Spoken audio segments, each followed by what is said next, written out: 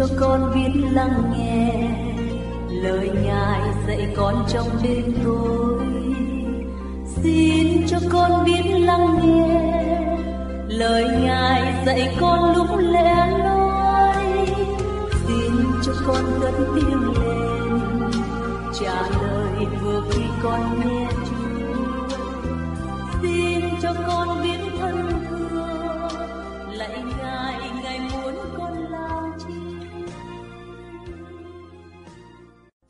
Thưa quý thính giả, chương trình phát thanh tinh lành do Hội Thánh Tinh lành Việt Nam tại Virginia thực hiện để giải bài chân lý cứu rỗi của Đức Chúa Trời cho nhân loại, cũng như giải đáp những thắc mắc của quý thính giả về niềm tin của cơ đốc giáo. Chúng tôi cũng đồng ý với mục sư Billy Graham rằng chúng ta không thể dùng sự hiểu biết hữu hạn của con người để giải bày tất cả những gì Đức Chúa Trời đã mặc khải qua Kinh Thánh, cũng như giải thích tất cả những vấn đề xảy ra trong cuộc sống. Tuy nhiên, chúng tôi sẽ cố gắng mời những vị mục sư, những diễn giả dày kinh nghiệm và được đầy ơn Chúa để có thể trình bày cho quý vị hiểu thấu đáo những lời của Đức Chúa Trời, hiểu được chân lý cứu rỗi. Rất mong quý vị theo dõi và giới thiệu đến bạn bè xa gần để họ cùng được nghe lời Chúa và được cứu như chúng ta.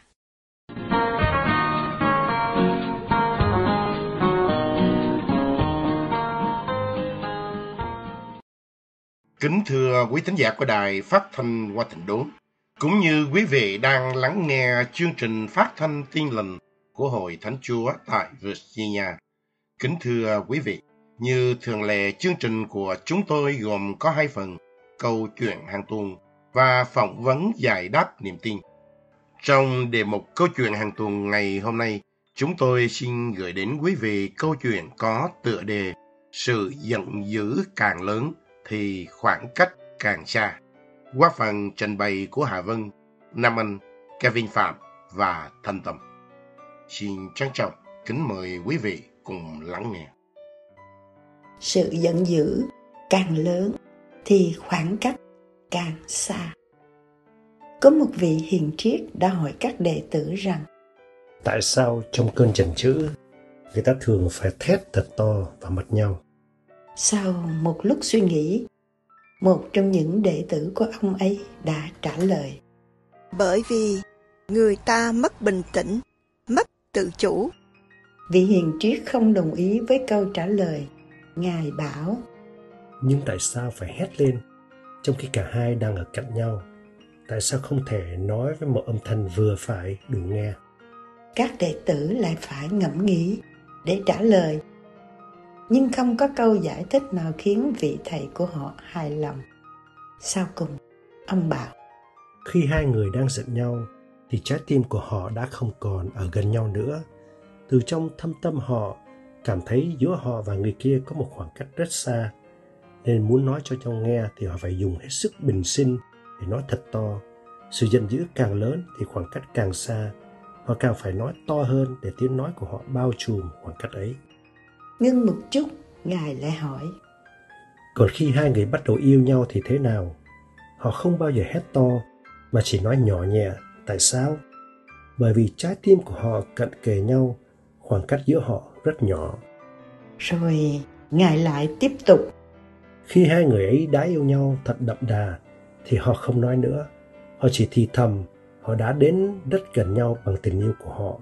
Cuối cùng, ngay cả thì thầm cũng không cần thiết nữa. Họ chỉ cần đưa mắt nhìn nhau, thế thôi. Vì qua ánh mắt đó, họ đã biết đối phương nghĩ gì, muốn gì. ngài kết luận Khi các con bàn cãi với nhau về một vấn đề, phải giữ trái tim của các con lúc nào cũng cận kề. Đừng bao giờ thốt ra điều gì khiến các con cảm thấy xa cách nhau. Nếu không, thì có một ngày khoảng cách ấy càng lúc càng rộng, càng xa, thì các con sẽ không còn tìm ra được đường quay trở về. Thưa quý vị, trong bài giảng trên núi, Chúa Jesus dạy Các con, nghe lời dạy cho người xưa rằng, người chớ giết ai, và rằng hệ ai giết người thì đáng bị tòa án xử đoán. Xong, ta phán cho các ngươi, Hễ ai giận anh chị em mình thì đáng bị tòa án xử đoán. Ma chương 5 câu 21 tới 22 Sự tức giận phát sinh từ lòng vị kỷ, biểu tỏ sự bực tức, oán ghét, kiêu ngạo bên trong một người. Thái độ và lời nói trong lúc tức giận có thể làm tổn thương sâu đậm hơn một hành động tàn bạo. Sự tức giận kéo dài tạo nên căng thẳng và bất hòa trong gia đình, bạn bè và đồng nghiệp. Bởi vì chúng ta có bản chất tội lỗi, nên ma quỷ có thể lợi dụng sự tức giận khiến chúng ta có những hành động và lời nói không xứng đáng gây nên tội lỗi. Đối phó với tình cảm tức giận, bạn hãy nhớ nguyên tắc kinh thánh dạy. Mau nghe, chậm nói, chậm giận. Mau nghe, chậm nói là nguyên tắc truyền thông hiệu quả, giúp bạn nhìn thấy rõ vấn đề để giải tỏa mà không giận. Khi đã giận một người nào, hãy nhớ nguyên tắc tiếp theo. Chậm giận hay kiềm chế sự tức giận và không giận dai. Đừng cư mang giận hờn cho đến khi mặt trời lặn. Cũng đừng để quỷ vương thừa cơ hội lợi dụng. Được trích trong Epheso chương 4, câu 26, 27. Đôi khi điều chúng ta giận là chính đáng, nhưng giận không kiềm chế gây ra những hậu quả không lường được. Kinh Thánh dạy, hãy dẹp sự giận và bỏ sự giận hoãn, chớ phiền lòng, vì điều đó chỉ gây ra việc ác. Được trích trong Thi Thiên 37 câu 8. Và lời Chúa dạy chúng ta, chứ có một lời dữ nào ra từ miệng anh em. Nhưng khi đáng nói, hãy nói một vài lời lành, giúp ơn cho và có ích lợi cho kẻ nghe đến, được trích trong Epheso chương 4, câu 29. Xin Chúa ban cho mỗi chúng ta biết kiềm chế cơn giận của mình. Amen.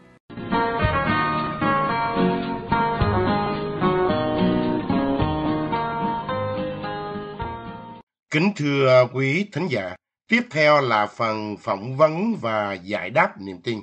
Trong chương trình ngày hôm nay, chúng tôi xin kính mời quý vị lắng nghe phần chia sẻ của mục sư Trần Thái Sơn hiện đang hầu việc Chúa tại tiểu bang North Carolina, Hoa Kỳ, qua đề tài Sự sanh lại, dựa vào lời Chúa được chép trong sách tin lành văn chương 3 từ câu 1 đến câu 21. Và giờ này chúng tôi xin nhường thời gian lại cho mục sư Trần Thái Sơn. Trân trọng kính mời quý vị cùng lắng nghe. Kính chào quý vị, tôi là mục sư Sơn. Cảm ơn Chúa, hôm nay chúng ta được học lại một lễ đạo rất quan trọng trong Kinh Thánh.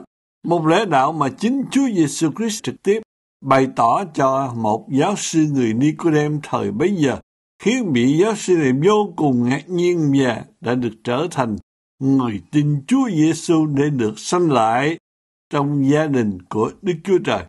Sanh lại là một lẽ đạo quan trọng. Ngay đoạn 3 câu 1 của sách Tin Dân này, tin là giới thiệu một nhân vật được xã hội người Israel thời đó tôn trọng và tin cậy đó là giáo sư Nicodem. Biết một lý lịch gồm thứ nhất Nicodem là người Pharisee, tức là người có tôn giáo truyền thống của người Israel, là do Thái giáo rất nghiêm cẩn như ờ, chuyên học kinh thánh tuân giữ những điều luật của Đức Chúa Trời quy định cách nghiêm ngặt Thứ hai, vị giáo sư này tên Nicodem nghĩa là đắc thắng hay thành công, cho thấy ông là người thành công trên đường đời. Thứ ba, vị giáo sư Nicodem là thành viên của tòa công luận, một tập thể cầm quyền của người Israel được Đức Quốc La Mã ủy nhiệm có quyền thế. Thứ tư, Nicodem cũng là một giáo sư, một người có học thức cao. Thứ năm, Nicodem cũng là một người lớn tuổi, tức là người đã có kinh nghiệm.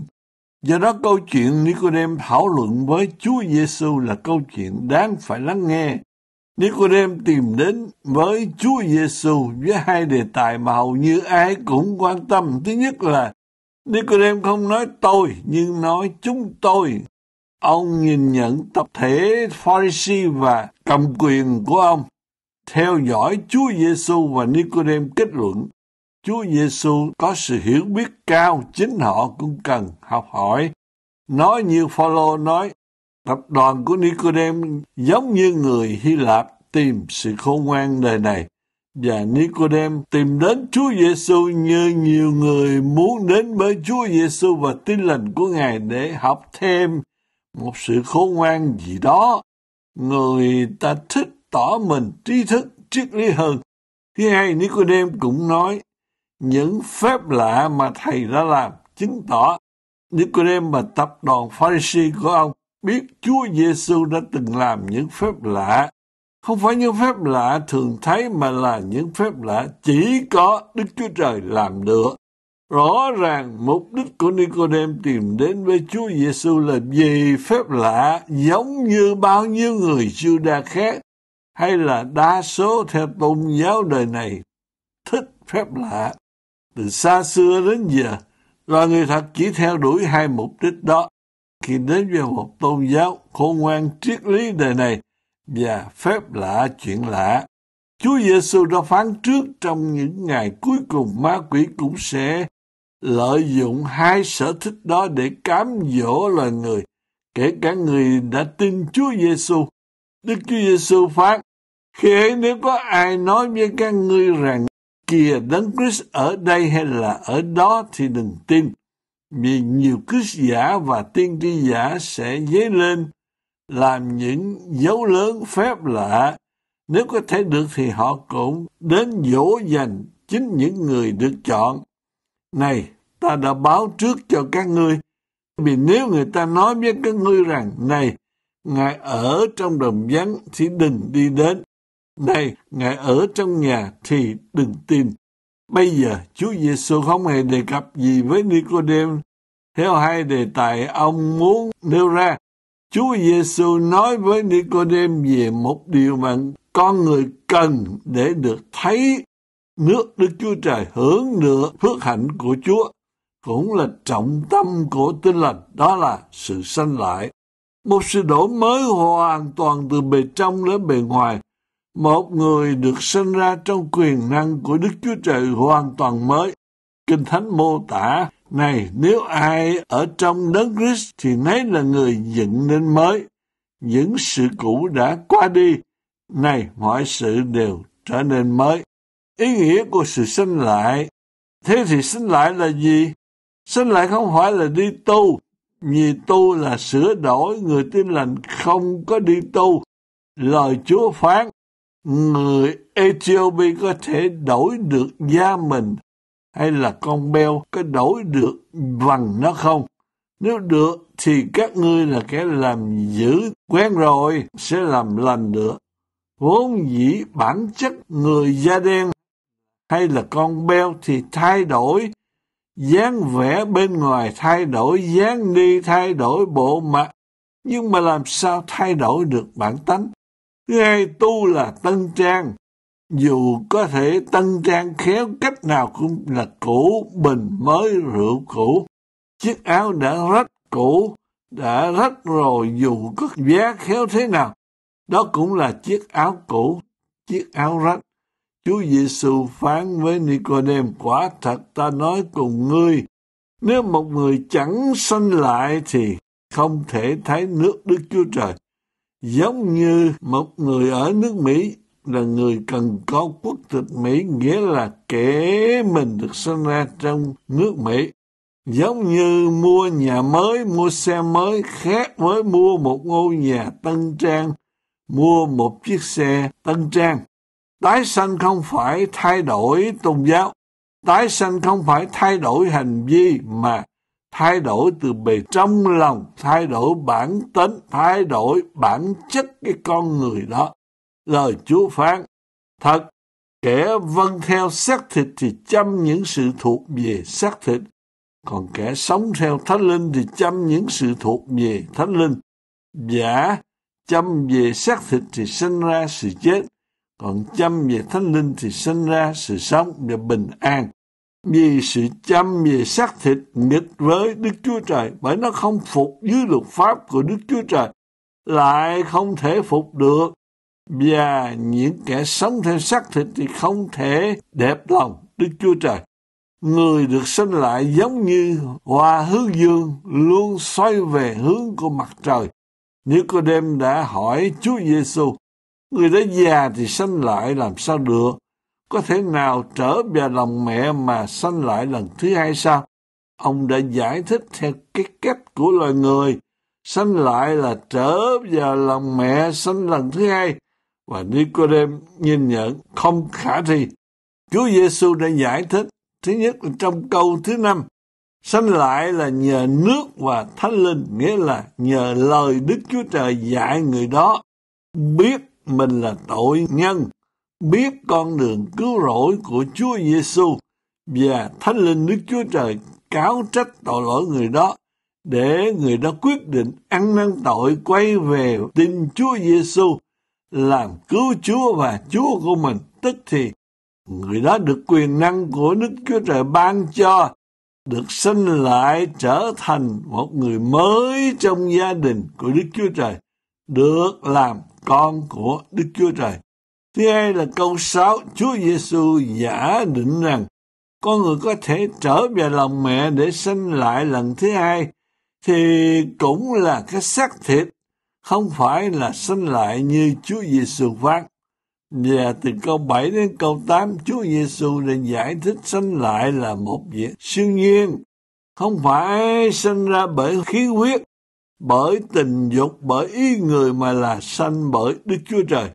Nói một cách khác, người chưa tin Chúa Giêsu được sinh ra trong gia đình của Adam, sinh ra trong gia đình của con người, ở dưới sự thạnh nộ của Đức Chúa Trời, cuối cùng sẽ đi vào chốn hình khổ đời đời, đó là hồ lửa, chỉ có khóc lóc mà nghiến răng. Nhưng khi một người ăn năn tội mình và tin Chúa Giêsu làm đấng cứu thế của mình, thì người đó tức thì được sinh lại trong gia đình của Đức Chúa Trời, được làm con Đức Chúa Trời, được hưởng gia tài đời đời của Đức Chúa Trời. Lời Chúa phán, chính Đức Thánh Linh làm chứng cho lòng chúng ta rằng chúng ta là con cái Đức Chúa Trời. Lại nếu chúng ta là con cái thì cũng là kẻ kế tự, kẻ kế tự Đức Chúa Trời và đồng kế tự với Chúa Giêsu. Đây là một lễ đạo chỉ có trong tin lành của Chúa Giêsu mặc khải qua kinh thánh. Bây giờ chúng ta nói đến cách để được tái sanh. Từ câu 9 đến câu 21. Câu 9 ghi lại ý nghĩ của Nicodem cũng là ý nghĩ của loài người chung khi nghe nói về sự sanh lại. Nicodem nói ờ, điều đó làm thế nào nữa Ai cũng biết là chỉ có thể cố gắng sống để tốt hơn, đạo đức hơn về phương diện nào đó. Một thời gian nào đó còn việc sinh lại mới hoàn toàn để sống đời sống mới, thánh khiết công bình hoàn toàn như ý Đức Chúa Trời mà Chúa Giêsu đã phán thì không thể thực hiện được. Cảm ơn Chúa. Chúa Giêsu đã giải thích sự sinh lại hay là nói cách khác, một người muốn được sinh ra trong gia đình của Đức Chúa Trời thì bởi bằng cách câu 13 đến câu 15 là sự bán cho từ trời đã được báo trước từ hàng ngàn năm. Chúa Giêsu nhắc lại việc sự kiện môi xe treo con rắn lên đồng vắng được chép trong sách Dân sư Ký đoạn 21. Dân Israel khi đi trong đồng vắng vì bị thiếu nước, thiếu bánh, họ nổi loạn nghịch với Đức Chúa Trời, nên đã bị Đức Chúa Trời sai con rắn lửa hay là con rắn độc trong đồng vắng đến cắn phạt họ chết rất nhiều. Dân Israel ăn năn tội và kêu xin Đức Chúa Trời cứu giúp. Đức Chúa Trời đã bảo Mô-xe là một con rắn bằng đồng treo trên cây sào đặt giữa dân sự. Ai bị rắn cắn thì nhìn lên con rắn đồng sẽ được lành.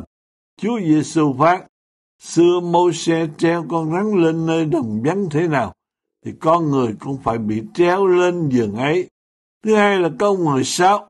Chúa Giêsu đã khẳng định việc một người được sanh lại trở nên một người mới hoàn toàn trong gia đình của Đức Chúa Trời bởi ăn năn tội và tin nhận công lao, cứu chuộc của Chúa Giêsu chịu chết trên cây thập tự và Chúa Giêsu sống lại, sống đời đời đó hoàn toàn là do Đức Chúa Trời yêu thương, ban cho con Ngài là Chúa Giêsu đến thế gian cứu người. Tuy nhiên con người phải tự nguyện như Chúa Giêsu phán, hầu cho hệ ai tin Đức Chúa Trời yêu thương, ban cho nhưng mà con người chúng ta phải tự nguyện nhận hay không nhận giống như một người bị rắn cắn, chính người đó phải tự nhìn lên con rắn bằng đồng thì mới được lành. Chúng ta thật cảm động khi đọc câu 17 đến câu 21. Lời Chúa Giêsu xác nhận lý do Đức Chúa Trời sai con Ngài là Chúa Giêsu đến thế gian. Câu 17 Chúa Giêsu phán: giả Đức Chúa Trời đã sai con Ngài đến thế gian, chẳng phải để đón xét thế gian đâu, nhưng hầu cho thế gian nhờ con ấy mà được cứu. Ai tin Ngài thì chẳng bị đoán xét đâu. Ai không tin thì đã bị đoán xét rồi, vì không tin đến danh con một của Đức Chúa Trời. Chúa Giêsu không phải đến thế gian làm người để đoán xét con người, mà để cứu con người. Tại con người thích tối tăm hơn sự sáng. Tại sao? Vì họ nghĩ rằng khi tin Chúa Giêsu được làm con Chúa thì họ không làm việc ác được.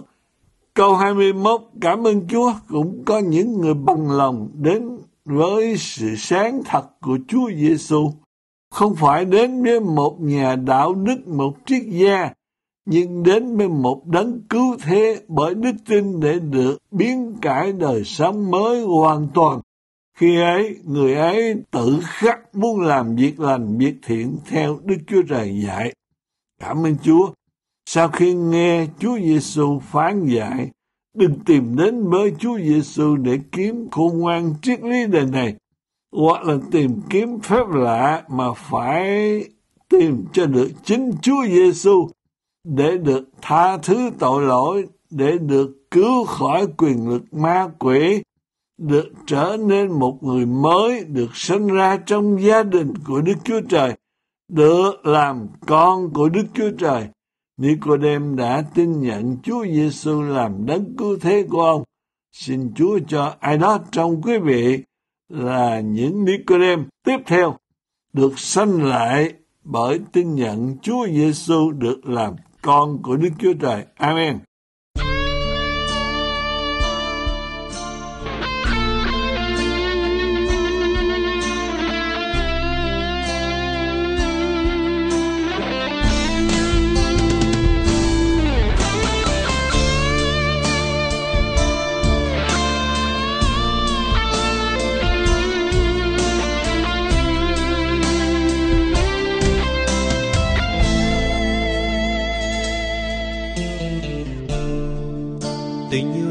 Thiên Chúa dành cho tôi,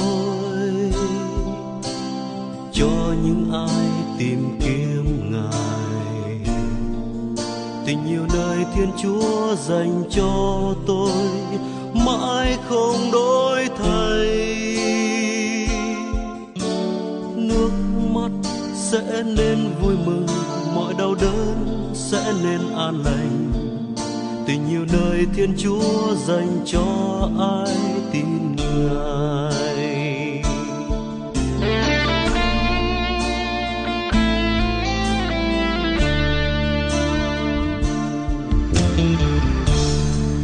Tình yêu nơi thiên chúa dành cho tôi.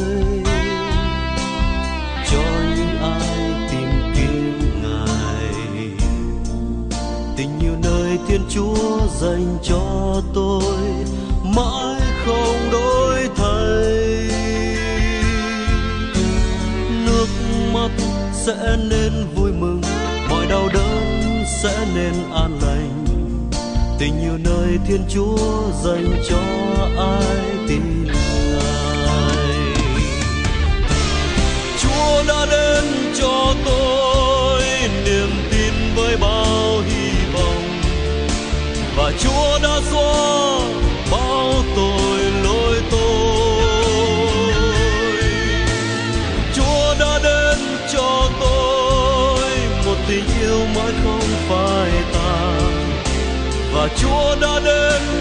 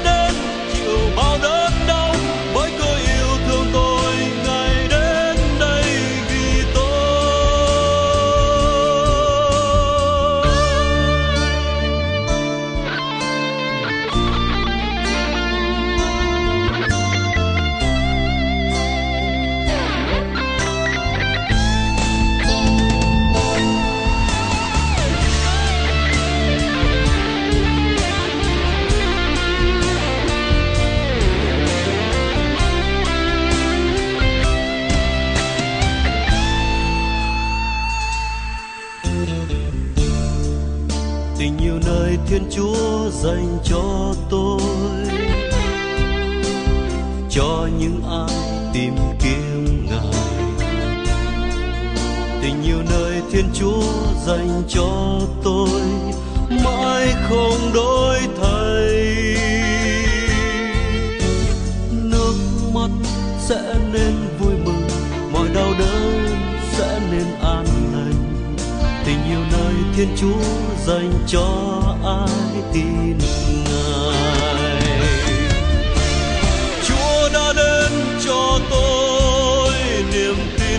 bao hy vọng. Và chúa đã xóa bao tội lỗi tôi. Chúa đã đến cho tôi một tình yêu mãi không phai tàn. Và Chúa đã đến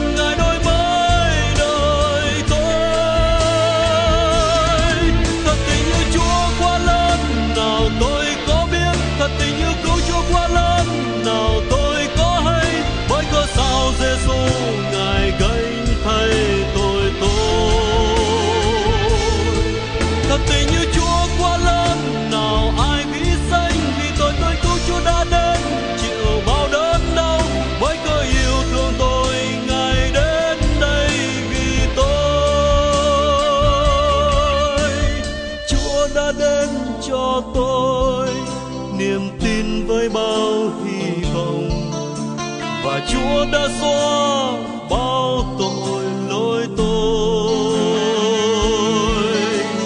Chúa đã đến cho tôi một tình yêu mãi không phai tàn. Và Chúa đã đến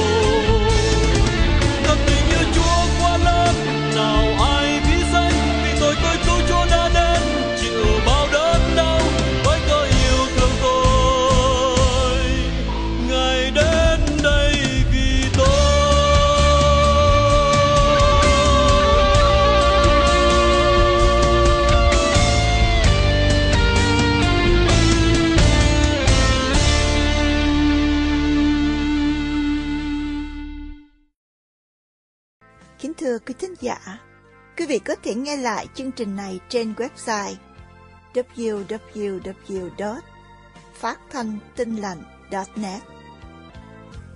Xin cảm ơn quý vị. Kính thưa quý vị thính giả, chương trình Phát thanh tinh lành xin tạm ngừng. Xin hẹn gặp lại quý vị trong chương trình tuần tới. Ban truyền thanh của chương trình Phát thanh tinh lành xin trân trọng kính chào. xin cho con đến với người bằng một tình yêu không gian dối xin cho con đến trong đời, tìm lại nguồn hạnh phúc mang cho con khi đã lắng nghe lời ngài dạy con ôi cao quý. Xin cho con trái tim